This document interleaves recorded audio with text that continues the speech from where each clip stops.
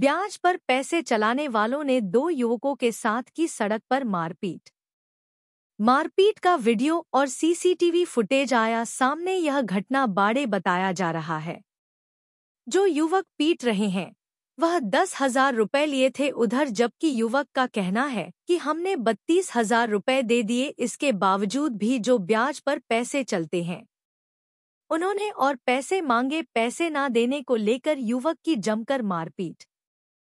कोतवाली क्षेत्र बाड़े की घटना।